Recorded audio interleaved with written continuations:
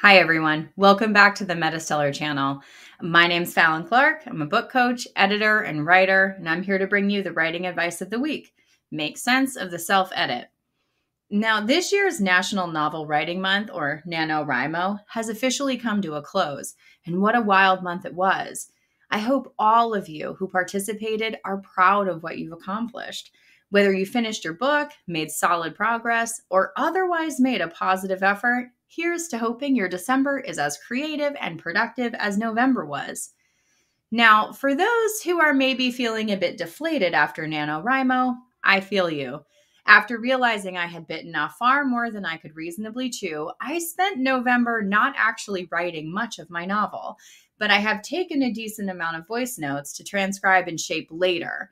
We all have our methods for coping with a lack of quality writing time. And I've leaned into the short on time voice recorder method myself, fitting in little bits between mom duties and everything else that needs to get done in the day to day routine. And if you had a month closer to mine than you expected, perhaps together, at least in spirit, we can take a step back and reassess exactly how we're going to get the writing done. Because an ambition to write or edit a book without a clear and quantifiable goal and a path to achieve the goal whatever that looks like for each of us, is just a wish. And wishes don't write drafts. Getting back on track doesn't need to come with a headache, though. Now, as if she were reading my mind through the web, Anne Gomez shared an article titled Creative Breath Finding Your Writing Rhythm. And her article speaks to the process of balancing creativity against assessment so we can push forward and plod on ahead and separates divergent and convergent thinking, both of which are critical parts of the creativity process and open up writing as a form of innovation.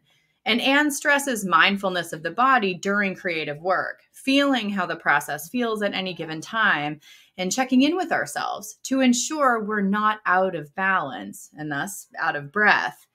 And we're going to need that balance in a big way because the work isn't done after the writing. After the writing comes the self edit, and that's a whole new set of goals. If you're the kind of writer who finished your book in November, look at you go. You may have December earmarked for self editing.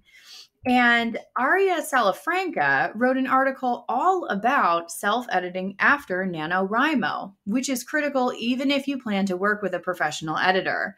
And the first piece of advice Aria offers is to take a break seriously.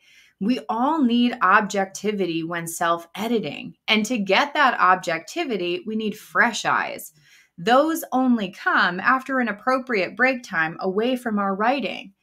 But after that break, Aria lays out a logical way to tackle those self edits when you come back to the writing desk. Now, you may be elbows deep in editing your manuscript. But if you're reading this advice, chances are you've got stuck somewhere. And if that stuckness is coming about because an early reader said your story was confusing, Lucy V. Hay put together an article titled Why Your Draft Doesn't Make Sense, plus What to Do About It. The first thing to do is to assess why and what the story lacks so you know how to address it. While Lucy's article is written for the screenplay writers of the world, her advice is broadly applicable. Whether you've a genre or tone mismatch, missing backstory, a setting or world building problem, or a theme heavy book that lacks story, Lucy provides some no nonsense ways to identify the issues. Then it's up to you to make the right changes for your book. And while Lucy advises us all not to worry about thematic elements too early at the risk of a lackluster story, John Kelley for Writer Unboxed says, Yes, Virginia, story themes still matter. And he's right. Because if you want your readers to emotionally connect with your characters and their story, they need a reason to connect, and themes help them get there. And I'm in step with John's line of thinking on this humans are hardwired to look for meaning and we're hardwired for storytelling. So it makes the most sense that readers are hardwired to look for meaning within stories. Many of the authors I work with discover their themes through their writing processes, but many also start with some themes in mind, though they may discover others along the way. If you're now panicking a little, maybe asking yourself how exactly you can go about identifying and bolstering the thematic elements of your book, it may be best to start at the beginning. What drives your story? Savannah Gilbo shares how to find the major dramatic question of your story. Savannah provides genre specific examples of driving questions and examples from fiction novels. And the article is complete with insights on why and how your major dramatic question or story driver helps not only with writing, but with self editing. And if this happens to be your final self edit before shipping your draft off to your editor or early readers, Chris Mays reminds us that first impressions matter in an article about effective front pages.